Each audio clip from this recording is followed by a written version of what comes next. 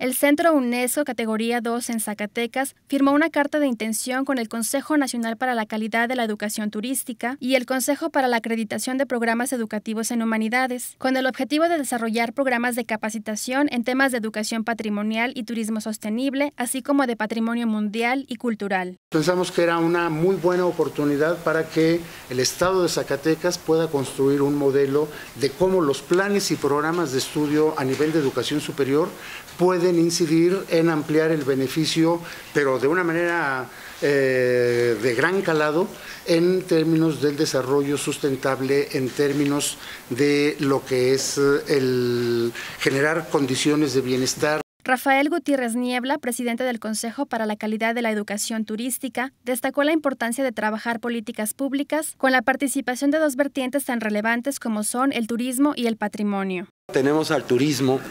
que si bien eh, puede convertirse en un, detonador para la preservación de nuestra identidad, en muchas ocasiones pasa al otro extremo y se convierte en depredador de lo natural y de lo cultural. En eso estamos también trabajando con todas las carreras acreditadas y reacreditadas vigentes, que ya son más de 100 en el país, y de alguna manera esto nos va a permitir que haya, pues eh, con la conjunción del instituto aquí en Zacatecas, pues que haya una, una retroalimentación desde la parte humanista. Con imágenes de Aurelio Carrillo, para Cisar Noticias, Arazú, Tinajero.